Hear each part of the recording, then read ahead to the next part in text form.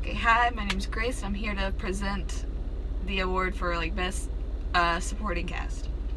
So, I put a supporting cast in this for this would be like my friends and family. Like that's the best way I can do it. Like say I'm like the lead for the speech, they're supporting cast in the audience. Um, they've just been really helpful, like friends and family, work family too. They've been helping me practice in front of them, let me do my speeches in front of them, and they've just all put in an effort to try to get together one spot because that's really hard for adults, people with children, other responsibilities and jobs to take time out of their busy schedules to help me with a speech. And this is just a way to congratulate them for helping me with this. And they won it. I put like they won this award because they've been really encouraging, they've been really helpful with this entire process. They've gone along with a lot of random ideas for my speeches or just random ideas in general, like in and out of work, school, and um, and in my like family life and whenever we hang out.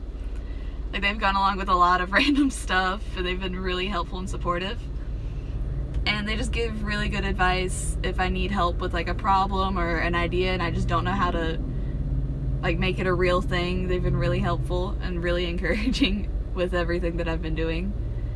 They've just been like they go with a lot of like they go with the flow in a way.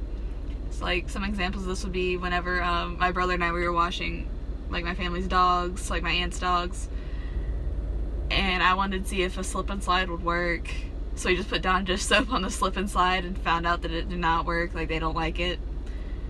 So we used it instead. Um, another example would be like whenever it was senior, our last day days as seniors, so me and my friend Hunter, we would, um, we wanted to do a senior prank because no one was doing it.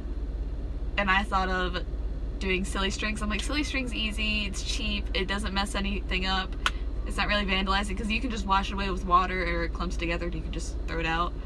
And then later we found out after we did it that our vice our vice principal found out we, we were doing after we did it to two teachers and took it. We found out that you could get arrested for assault and luckily we did not, but just don't silly string people is what we learned. Or whenever um like we would sneak food into like robotics competitions because it wasn't allowed. We would wear like big hoodies and we would just put like because Krispy Kreme was near it, we'd put Krispy Kreme donuts under our hoodies and sneak in food because we didn't want to. We wanted actual like breakfast food and they didn't have it, so like they just go along with like random ideas like that. Like my friends and family, all of it, they just are really helpful with all that. And just one more time, I just want to say thank you to them. Congratulations to them for winning this award because they really earned it. They've been really helpful. And they've just been a really good like supporting cast in a way. Thank you.